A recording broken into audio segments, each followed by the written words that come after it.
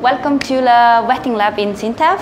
And in this wetting lab, we have two sessile furnaces. Like the rest of the furnace in this building, we like to work at high temperature.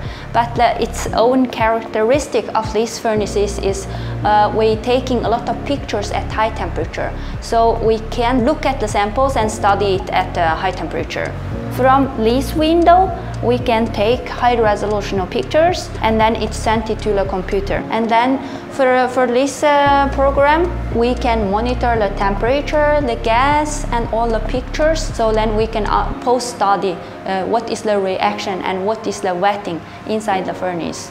For industries, for example, for uh, silicon furnaces, uh, industry people, they know what they put into the furnace and they know what is produced, but the furnace itself, the mechanism inside is like a black box.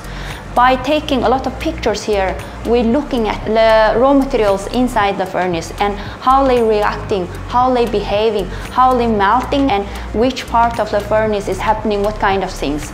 So that helps industry people to understand their process more and contributing to the better production.